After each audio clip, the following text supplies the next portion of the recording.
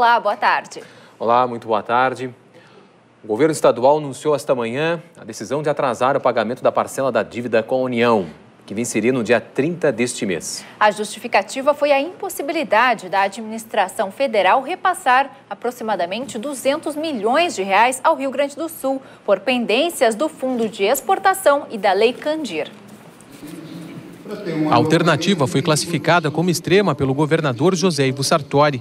Essa é a primeira vez que o Estado deixa de pagar uma das parcelas da dívida com a União. O valor retido será de cerca de 280 milhões de reais. Para manter em dia a folha de pagamento dos servidores do Rio Grande. Com o nosso respeito que nós devemos a eles pelo trabalho que eles realizam em todas as áreas públicas, e devo adiantar que este recurso é um recurso extremo, extremado, porque nós fizemos outros ajustes internos, tomamos outras medidas, mas nós vamos honrar esse compromisso dentro do Estado do Rio Grande do Sul. Esperamos que a Receita, que deu alguns sinais de melhora no mês de abril, ela possa melhorar durante o mês de maio. Embora seja um valor considerável, Sartori afirma que outros atrasos, como no pagamento de fornecedores, também serão necessários para garantir a folha de abril. Hoje, o salário dos servidores ultrapassa um bilhão de reais. Para o secretário da Fazenda, o atraso no pagamento da parcela não deve representar qualquer tipo de sanção do governo federal. A sua área técnica foi informada em relação a isso, no mínimo um gesto de elegância né, nas relações republicanas que se estabelecem. Né? Há sim uma incidência no contrato, do ponto de vista de um valor a ser pago e que fica lá para o resíduo de 2028, que é menos de 20 milhões de reais por conta de termos atrasado esse período aí de 10, 11 dias que nós imaginamos sejam o suficiente para nós pagarmos essa conta. A perspectiva do governo é de pagar a parcela atrasada até dia 11 de maio. Bom, e hoje foi dia de protesto do magistério estadual que paralisou as atividades. A categoria fez manifestação no centro da capital com uma ampla pauta de reivindicações. Cerca de 2 mil professores participaram do protesto, segundo a direção do CEPERS. Para a EPTC, no entanto, o número de participantes foi de 1.500. A principal reivindicação é pelo pagamento do piso nacional, que representa um aumento de 34,67% nos salários. Além do pagamento do piso nacional, a categoria reivindica ainda o reajuste de 13% nos salários fixados em janeiro, a manutenção no plano de saúde dos professores e também um repasse de royalties do pré-sal para educação. Lá no Congresso que está o recurso que nós precisamos para que seja pago o nosso piso, que é a regulamentação dos royalties do petróleo, que 75% desse dinheiro vem para a educação e pode ser para pagar salário. Por causa da mobilização, algumas escolas da rede estadual tiveram suas aulas suspensas em todo o estado. A Polícia Civil deflagrou na madrugada desta sexta-feira uma ação para desarticular esquema de teleentrega de drogas em Porto Alegre. Seis traficantes foram presos na Operação VIP 3. Segundo a polícia, os suspeitos foram surpreendidos com dois carros avaliados em 70 mil reais cada um, enquanto se preparavam para a distribuição. Além dos veículos, foram apreendidos dinheiro, 108 comprimidos de êxtase, 86 pontos de LSD, 46 petecas de cocaína e quatro tubos de lança-perfume. A droga abastecia bairros como Floresta, Santana e Centro. A investigação durou dois meses. E o dia de São Jorge foi comemorado nesta quinta-feira. O santo, que nas religiões africanas é representado pelo orixá Ogum, foi homenageado com uma procissão na zona leste de Porto Alegre. A carreata ocorreu depois de uma missa na paróquia São Jorge, no bairro Partenon. Centenas de fiéis católicos e umbandistas percorreram a Avenida Bento Gonçalves e ruas locais, junto com o carro que levava a imagem do santo. Essa foi a 32ª edição do evento, considerado de grande importância para os devotos. O que, que significa Ogum, sigretizado de São Jorge? A luta pelo ideal, a luta pela conquista de alguma coisa. Agora vamos falar sobre saúde. A campanha de vacinação contra a gripe na rede pública inicia na próxima semana. Já nas clínicas particulares, a vacina já está disponível e muita gente já vem antecipando a vacinação. A vacina já faz parte da rotina desse casal de aposentados. Mas normalmente a gente procura fazer no mês de março. É o melhor mês que tem para fazer, porque não, tem, não pega nenhum tipo de frio, nada.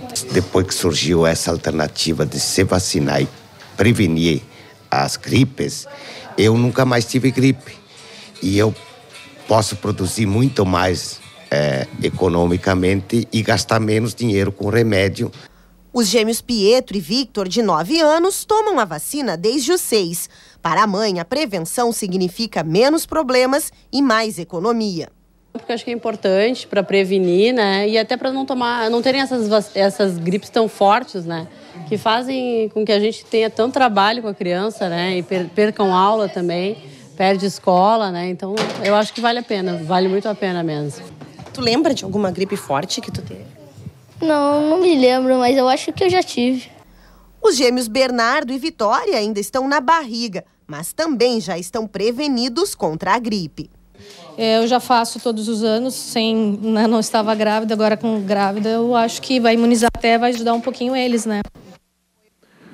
Bom, a antecipação da vacina contra a gripe no estado a partir da próxima segunda-feira faz parte da estratégia da Secretaria Estadual da Saúde de evitar a doença nas pessoas que integram grupos, grupos prioritários, antes que haja uma significativa queda nas temperaturas. Justamente a gente está se aproximando desse período aí de queda das temperaturas e a gente vai continuar conversando sobre esse assunto com o doutor Luiz Carlos Correia da Silva, que é pneumologista da Santa Casa aqui de Porto Alegre. Boa tarde, doutor.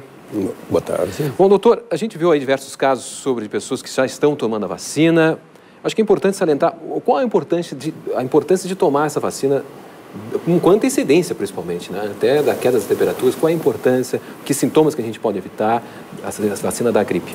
Claro, já, já fazem cerca de três décadas que no mundo todo se, se começou a usar as vacinas antigripais, isso diminui mortalidade, diminui complicações, principalmente naqueles grupos chamados de maior risco. Né?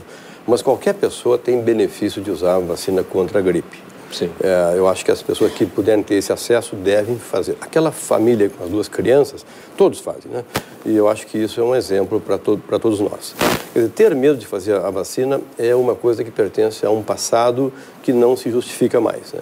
Quando as pessoas achavam que fazendo a vacina e tendo algum sintoma era da vacina. Não teriam aquele sintoma ou aquele quadro, independente de ter feito a, a, a vacina. Mas elas não poderiam. O resfriado, por exemplo, pode ocorrer nesse caso? Um resfriado, algum sintoma tipo resfriado pode acontecer em virtude da vacina ou isso é descartável? a vacina é indene, ela não é capaz de causar dano nenhum, já que o vírus é morto e fragmentado. Só tem é, digamos, material do DNA desse, desse vírus que não é capaz de causar, a não ser uma reação alérgica nos primeiros dias, uma febrícula, uma indisposição que passa logo. E a questão do ovo existe também, né? A pessoa não é, pode... alergia específica alergia ao ovo, ovo, que é muito rara, né? eu acho que sim. Mas se a pessoa come ovo na, na comida, sempre comeu e não, não sentiu nada, não tem alergia ao ovo. Sim, a questão da vacina. Então, mas existem outras medidas também que as pessoas podem tomar além da vacina, né? Para não ter uh, questão de ter contágio com a gripe, né? Claro, como prevenção, evitar, como prevenção. evitar contágio, evitar as aglomerações no momento de maior recrudescência da, do vírus, né? quer dizer, evitar é, lavar as mãos com frequência, com frequência. Né? principalmente quando sai de, de casa e vai em locais que tem corrimão, corrimão tem essas coisas que a gente toca sempre. Quer dizer, tem que lavar as mãos com fre frequência e evitar, assim, pessoas que estejam espirrando ou, ou tossindo, ficar longe, o mais longe possível delas. Uhum. Isso é para evitar.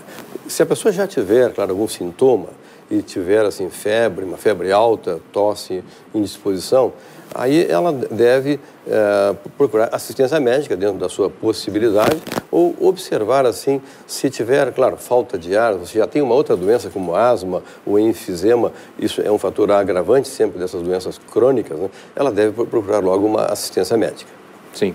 E, e, a vitamina C? As pessoas devem tomar, uh, uh, aumentar a vitamina C, aumentar a dose de vitamina C durante esse período, ou isso é descartável? Do ponto de vista científico, não temos prova nenhuma a Sim. favor da vitamina C. Não há, não há, não há interferência. A indicação médica, por critério assim, é, exclusivo, não. Tá certo. Conversamos com o pneumologista, doutor Luiz Carlos Correia da Silva. Doutor, muito obrigado okay. gentileza aqui. E assim, eu acho que as pessoas não têm que ter medo de fazer a vacina. Mesmo ah, aquelas... Ah, é, porque tem pessoas que dizem assim, ah, eu nunca fiz a vacina porque tenho medo, uma vez fiz e aconteceu tal, tal coisa. Não tenham medo da vacina. A vacina não causa dano nenhum. Depois, se houver arrependimento, Aí talvez sim que seja vai de... causar dano. É, exatamente. Pode se arrepender de não fazer a vacina. É Nunca se arrependerá de ter feito a vacina. Tá certo. Doutor, muito obrigado. Uma boa tarde. Obrigado. Okay. Vai ter muito esporte em todo o estado neste final de semana. No Autódromo Velopark, em Nova Santa Rita, acontece no domingo a terceira etapa do Brasileiro de Stock Car e tem mais automobilismo. Na sexta-feira, às nove da noite, em Viamão, pista liberada para todos os carros inscritos em mais uma edição do tradicional Racha do Autódromo de Tarumã. Outras informações no site www.rachatarumã.com.br. Golfe. O Porto Alegre Country Club cedia o Sul Brasileiro da modalidade no sábado e no domingo. As provas contam pontos para a etapa nacional do próximo dia 1 de maio e. E na próxima quinta-feira, a Torre será sede da 27ª edição do Festival de Balonismo. Aqui no estúdio conosco, a secretária de Turismo do município, Vivian Rocha. Boa tarde, Vivian. Boa tarde, muito prazer. Bom, a capital brasileira do balonismo, né? É um título e tanto. Qual o significado desse evento para Torres? Ele é a Menina dos Olhos de Torres, principal evento realizado durante o ano e ocorre há 27 anos já, então ele, nós temos um cuidado muito especial com o evento em geral, né? Tanto com os balonistas quanto com o turista que vai a Torres nos prestigiar durante esse evento. Pois é, um grande evento turístico, né? Quantos turistas, assim, é, é, existe a expectativa de receber? A expectativa de público é em torno de 200 mil pessoas durante os quatro dias de eventos, isso contando com um tempo bom que Parece que vai ser, né? Tá na previsão. Uhum, então vai ser do dia 30 de abril a 3 de maio. Correto, 30 de abril a 3 de maio, encerrando com um show do Roupa Nova, o, o evento todo. Nós estamos vendo imagens, né? Belas imagens do, do evento em Torres. Uh, bom, então, fala um pouco da programação, né? Uh, quais atrações que vão estar disponíveis para o público? Além das provas de balão, que são cinco provas durante os quatro dias, e, e entre outros voos fiesta, nós teremos atrações culturais na tenda cultural, nós teremos diversas atividades esportivas, como o campeonato gaúcho de slackline, xadrez, LOL. Além dessas atividades, nós contamos com uma vasta gastronomia na praça de alimentações e na agricultura familiar também, uma comida caseira para a família que quiser prestigiar o evento durante um dia inteiro, tenho que fazer lá. Além disso, nós teremos no dia 1 de maio um show com o Taeme Thiago, a partir das 23 horas. No dia 2 de maio, nós teremos Armandinho. E no dia 3, encerrando então o evento com Roupa Nova. Quantos participantes devem estar em Torres? Teremos 46 balões este ano e sendo cinco deles de forma, que são aqueles balões em formato de bichinho ou de com uma prova exclusiva para eles também, que é a prova da chave, que concorre a um carro, uma montana. Tá certo, então. Uma boa dica para quem quiser visitar Torres uh, nos, entre os dias 30 de abril e 3 de maio. Muito obrigada, Vivian Rocha, secretária de Turismo do município. Uma boa tarde. Boa tarde, muito obrigada. Estão todos convidados a participar do nosso evento. Bom, e o movimento tradicionalista gaúcho está convocando os tomadores de chimarrão para uma roda virtual de chimarrão, não é mesmo, Lívia? É, isso mesmo. É que hoje é o dia do chimarrão e do churrasco. A data foi escolhida porque hoje foi fundada o primeiro, foi fundada primeiro o CTG do Rio Grande do Sul enquanto a chaleira chia, o amar. O dia de aniversário para os integrantes do 35 CTG de Porto Alegre começou com um café reforçado. Afinal, eles precisam mesmo de energia para um dia inteiro de comemoração, pois são 67 anos de história. O 35 traz, desde a sua fundação, desde 48, é a preservação dos costumes e dos valores do homem do campo. E o dia do churrasco e do chimarrão é a simbologia própria do homem do campo, né? A bebida e a comida, símbolos do estado, têm suas peculiaridades. A carne do churrasco é cuidadosamente escolhida e espetada. O fogo já vai sendo preparado e o tempero é tradicional. Claro que agora inventaram os temperos para botar no churrasco, mas o churrasco mesmo é sal grosso. Não pode botar demais, entendeu? Se tu acabar aí, tu vai virar um charque teu, teu churrasco. Já o chimarrão, que nasceu na cultura indígena, hoje tem mil maneiras de ser feito, mas cada um tem seu momento de matear. Quando a gente está chimarrando de manhã, que eu faço já há 50 anos, é, é a hora que eu me encontro e que faça meu exame de consciência. Pois o movimento tradicionalista gaúcho, junto com outras entidades, lançou um desafio. A ideia de que o chimarrão tome conta das redes sociais hoje. No teu trabalho, na tua escola, na universidade, no parque, até mesmo no supermercado, né? Bata uma foto, tire uma foto e envie para a rede social, né? Então temos aquele ali, o hashtag aquele, vem para o mate pela paz mundial e publique a tua foto. A primeira prenda do Rio Grande do Sul, Caroline Lemos, já postou a sua selfie. Já dizia um ditado que se todos sentassem à volta de um fogo de chão tomando mate e conversassem mais, não haveria guerra, somente haveria paz. Então essa é uma maneira de usar o chimarrão também para lembrar como símbolo da hospitalidade e para fazer com que todos reflitam um pouquinho mais sobre a paz.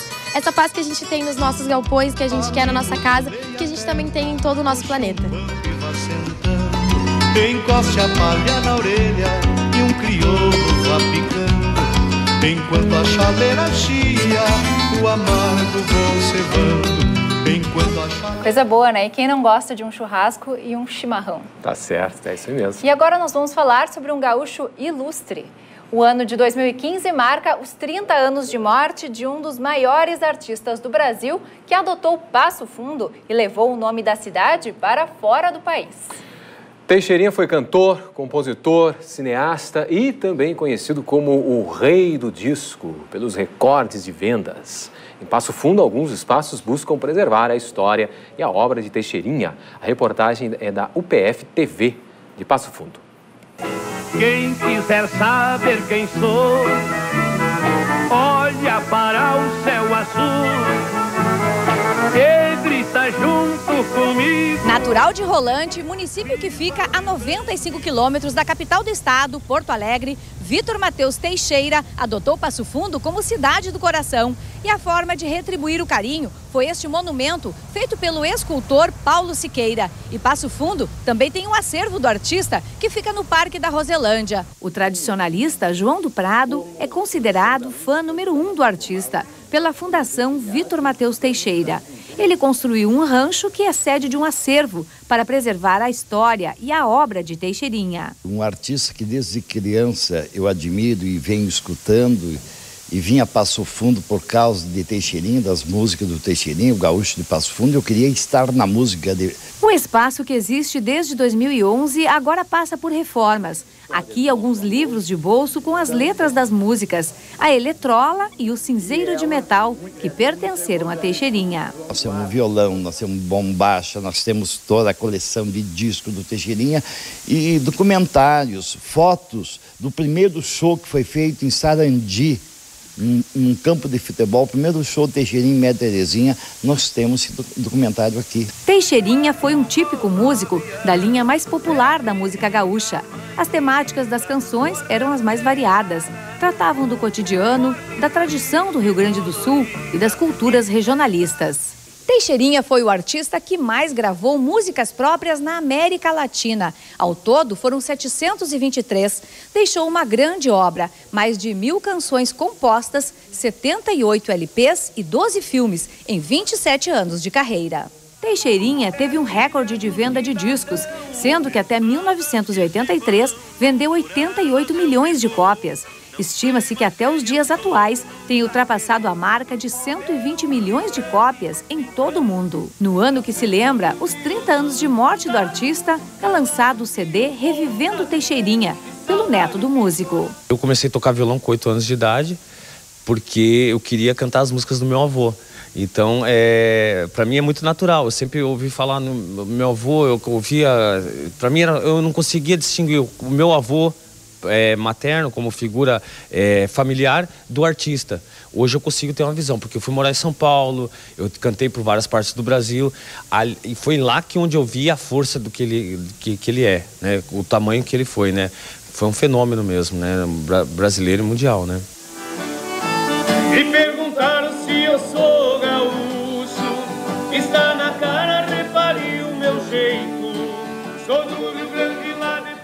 A Certa Teixeirinha, quase vendido quase 90 milhões de discos, ultrapassou a marca do Roberto Carlos até 1983. Se fosse hoje, teria ultrapassado todas as vendas do Roberto Carlos.